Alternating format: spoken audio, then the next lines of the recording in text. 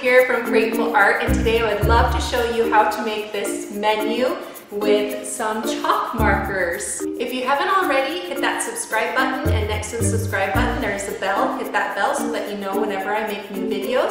Chalkboard art is really popular right now and it looks really awesome in your house. I'm going to be using Chalkola markers today in my video. I highly recommend them. I put a link in the description below to the markers that I use. They have all sorts of kinds to choose from with big tips to small tips to metallic to fluorescent colors and everything in between.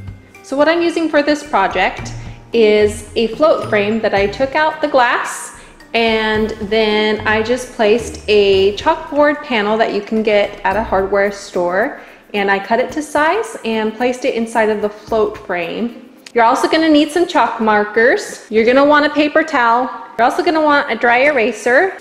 I'm also going to use a paper and a pencil as a measuring tool.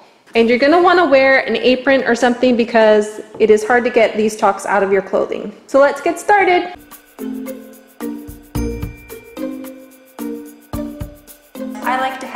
What I want to create in mind, so I went ahead and I looked online for some fonts that I could um, get inspired from. You're gonna have to give yourself permission to not make this perfect. This is about being free and letting yourself make mistakes because this will bring character to this art piece. So it'll be more fun this way. So what I'm to do with this piece of paper is I'm to use it as a measuring tool and so I know that I want to have menu right up here and I want the menu to be, you know, pretty big and end like right here. I want it to be about this high and I want about equal distance from the sides and I want to make sure that I do this as straight across as possible but it doesn't have to be perfect and I want my M to be bigger than the rest of my letters and go up to about right here. You have seven days of the week, so you're gonna wanna split this up so that it equally has room for all the letters equal all the way down here.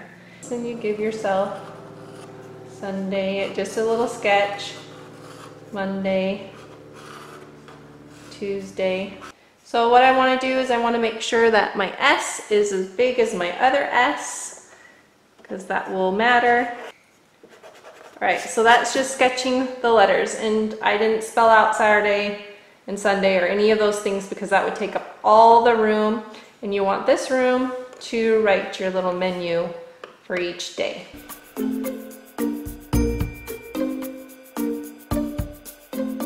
And I'm gonna use the big fat white marker for the menu. Okay, and what you have to do is you have to shake these side to side. You'll notice even after you shake it, that the color won't be right here, okay? But the shaking helps the color to bring it down.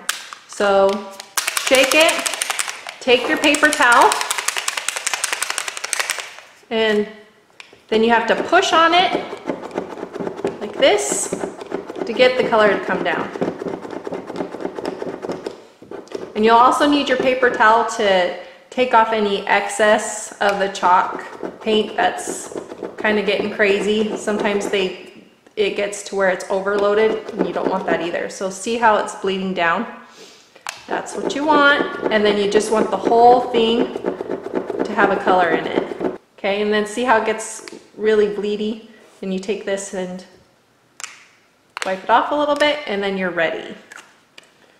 Okay, so you got your font, you kind of got it sketched out, and now you're ready to draw on your letters. Now the thing that is most important is to be confident. And if you mess up, that's okay. So I'm going to show you how to take it off when you mess up. Okay, so when you mess up, all you have to do is take your dry eraser, go like this, take your paper towel, you want it to be wet and then you can take it off. And then you just let that dry.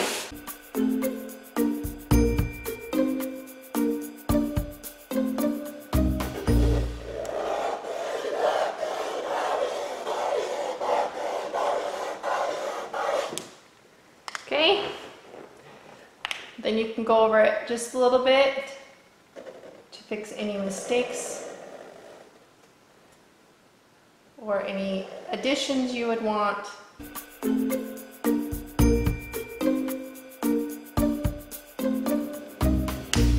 So what I'm going to do is I'm going to use this smaller white marker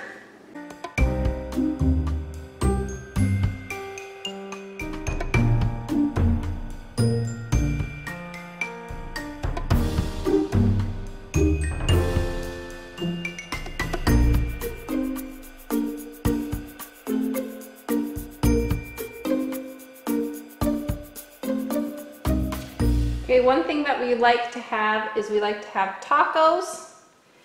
So I'm going to make this into tacos and I'm just going to make this line and a line right here, line going across. And this is just fun stuff. You find all different kinds of things that are fun to do for your letters and you just play.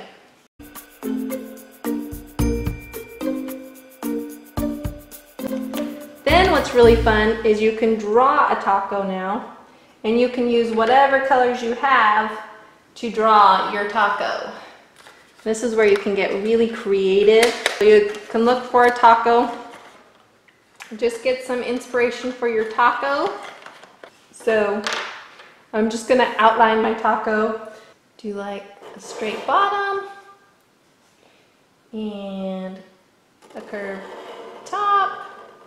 This curves and comes around like that.